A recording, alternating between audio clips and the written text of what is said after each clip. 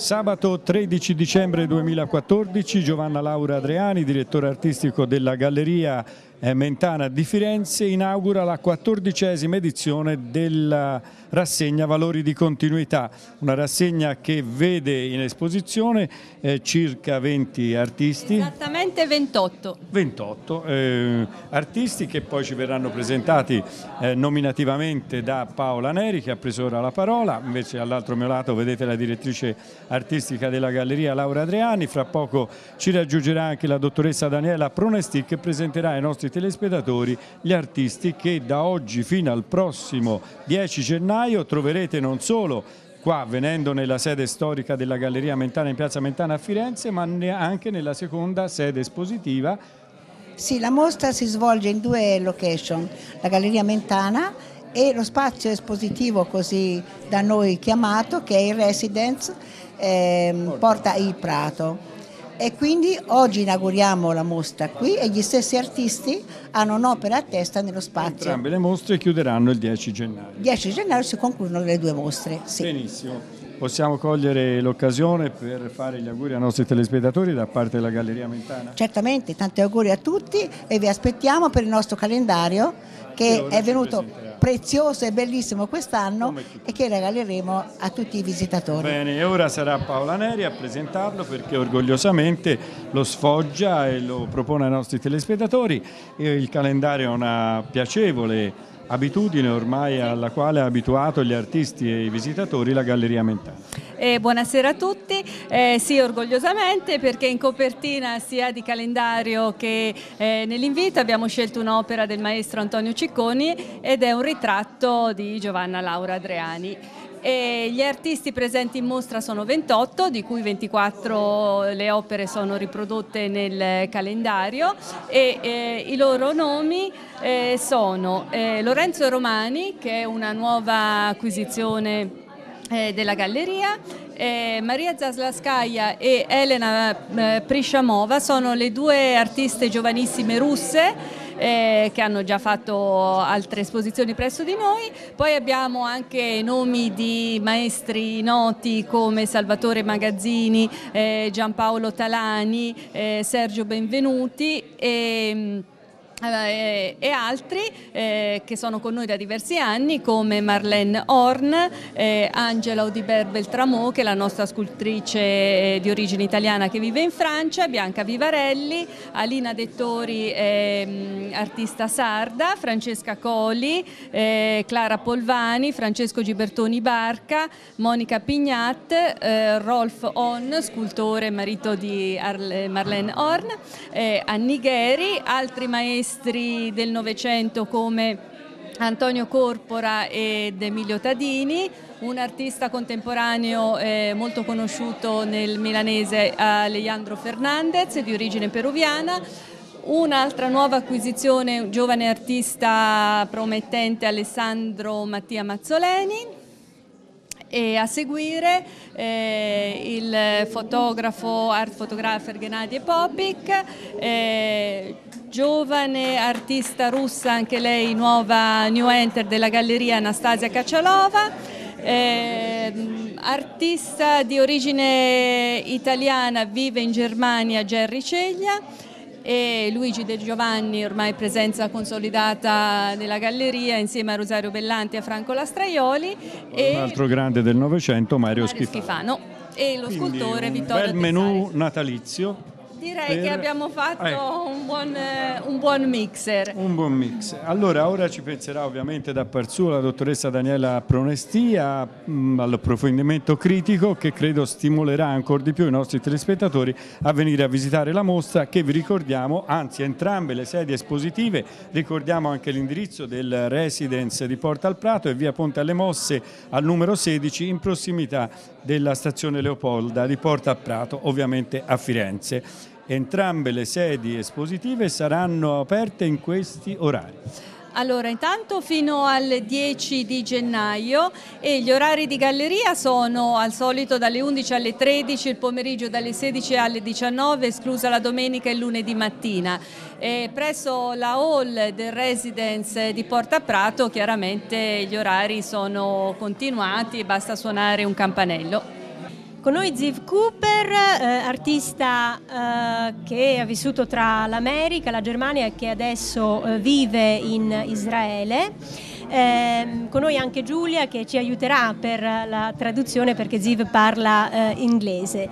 Eh, Ziv, mm, i lavori che hai scelto di presentare qui alla Galleria Mentana eh, raccontano il paesaggio italiano, le bellezze italiane. I want to say that I'm painting the landscape of Italy, urbanic landscape of Italy. Lui ha iniziato a studiare architettura e si è interessato particolarmente all'architettura eh, urbana e quindi grazie sua, ai suoi studi ha avuto possibilità di viaggiare eh, in tutta l'Europa e si è innamorato particolarmente dell'Italia, delle di Venezia ad esempio cerca di rappresentare l'armonia dei colori, soprattutto sulle luci, eh, ad esempio le strade di Roma, i romanticismi e, ehm, la sua appunto, passione è quella di riprendere le architetture urbane e di cercare di trasferire all'osservatore esattamente la sensazione che lui ha avuto nel momento in cui ha avuto questa impressione, questa percezione che poi appunto dipinge. In mostra alla Galleria Mentana per valori di continuità Alessandro Mattia eh, Mazzoleni, un giovane artista eh, torinese, fondatore della Cardboard Art, ovvero l'arte del cartone, eh, quindi un materiale eh, che è parte del nostro quotidiano eh, che diventa in questo caso supporto artistico ma anche elemento espressivo che serve al giovane Mazzoleni per eh, indagare le vie dell'astrazione comunicazione, le vie dell'arte informale, eh, arrivando ad una sintesi espressiva di grande impatto, di grande forza. Eh, un artista molto giovane, neanche trentenne, che ha già però eh, riscosso molto consenso da parte dei collezionisti, da parte di illustri critici d'arte come Filippo Daverio e che ha già esposto in numerose città italiane e all'estero. Il prossimo 17 gennaio Mazzoleni sarà in mostra alla Galleria Mentana per una eh, personale che ci permetterà di eh, conoscere più da vicino eh, la sua ricerca artistica.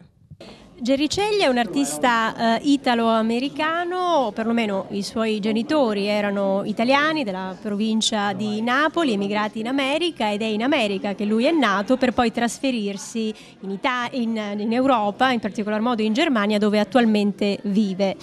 Eh, Jerry mi spiegava eh, questo, eh, questa tecnica eh, che lui ha eh, messo a punto, una tecnica eh, particolare più che altro per le ragioni che l'hanno ispirata, perché lui ha qualche difficoltà, problema insomma, a, ehm, a, a riconoscere i colori e di conseguenza usa ehm, realizzare il disegno e sugli effetti chiaroscurali creati dalla matita interviene poi in seconda battuta aggiungendo eh, il colore.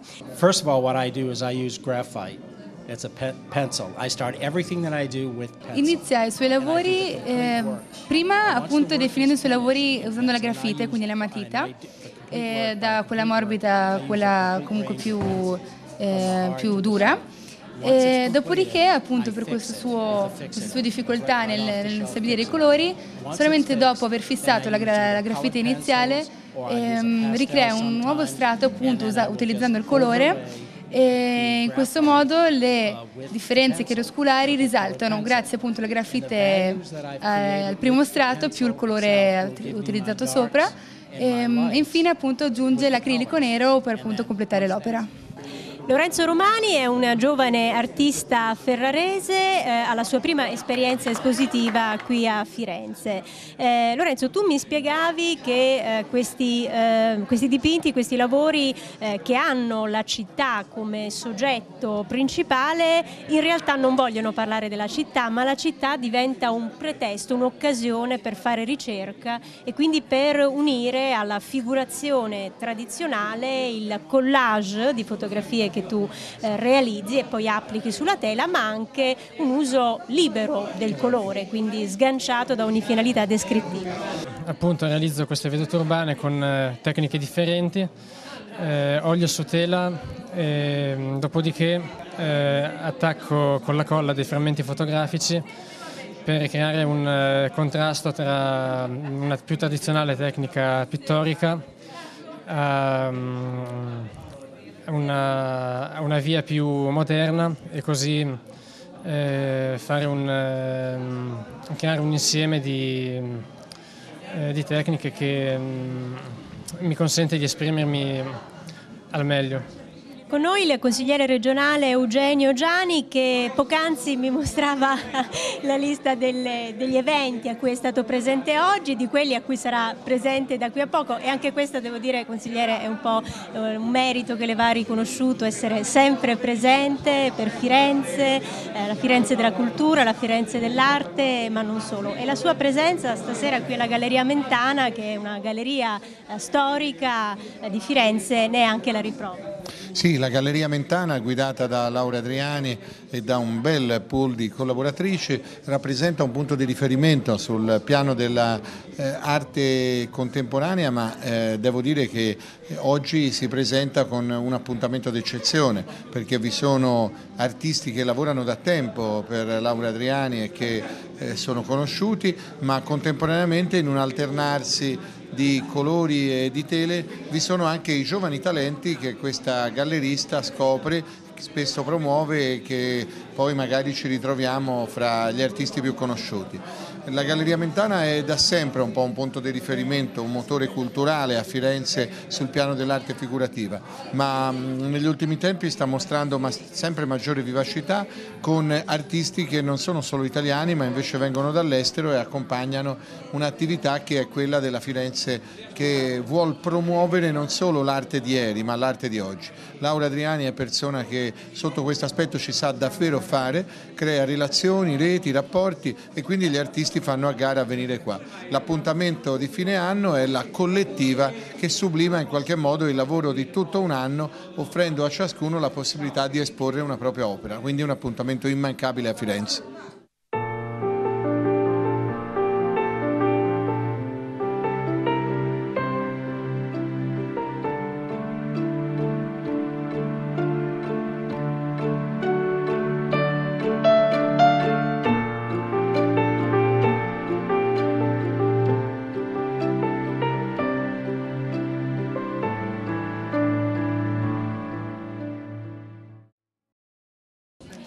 Noi Rolf Horn, artista tedesco che collabora da anni con la Galleria Mentana e che però stasera ha annunciato che questa è l'ultima mostra eh, in Italia, quindi è un addio, noi speriamo un arrivederci all'Italia e non un addio definitivo, ma al di là di questo Rolf che ovviamente è, resta una tua scelta, io vorrei parlare con te di scultura, eh, vorrei parlare di questo rapporto speciale che tu hai con un materiale, con una materia materia, direi meglio, il legno, che ci rimanda ad una dimensione eh, eh, originaria, antica della scultura. Sì. Um, la scultura, lo sappiamo, è cambiata molto eh, nel corso della sua storia yeah. e allora io ti chiedo qual è l'emozione che oggi un artista come te, uno scultore come te può eh, provare eh, scolpendo il legno?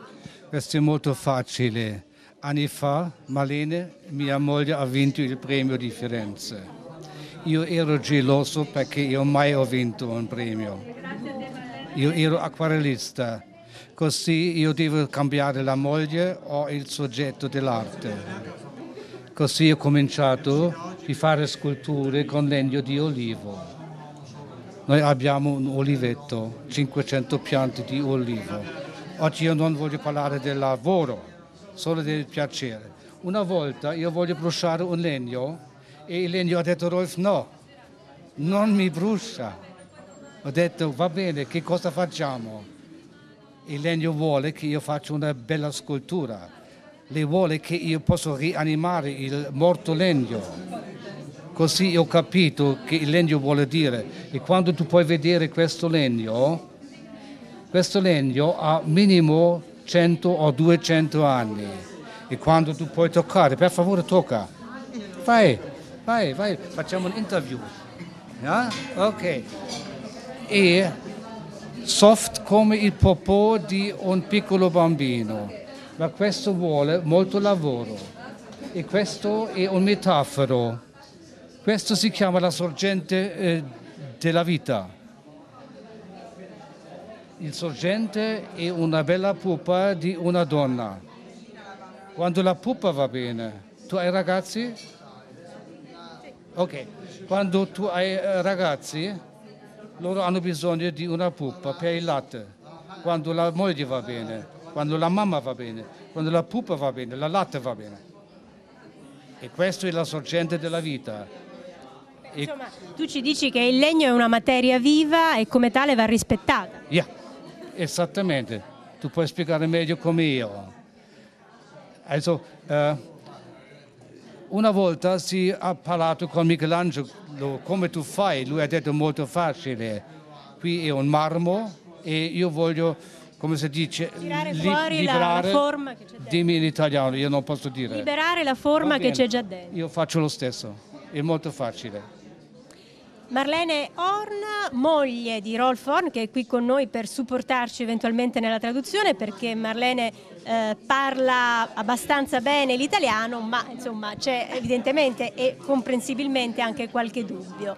Eh, Marlene, anche tu sei, a- anche per te questa mostra è eh, una delle tante realizzate qui in Italia, realizzate qui alla Galleria eh, Mentana eh, e il tuo bagaglio artistico si contraddistingue per questa la- raffinata lavorazione sul vetro, quindi tu dipingi sul vetro, scegli il vetro come tuo eh, supporto eh, e mh, ti servi di questa tecnica per dare forma ad un immaginario eh, che spesso sconfina nel sogno, direi anche nella poesia, perché ci sono sempre queste figure femminili che danzano e che così facendo innalzano il loro inno alla vita. Io dipingo fiabe su vetro. Mm. Questo è il segreto. La tecnica speciale.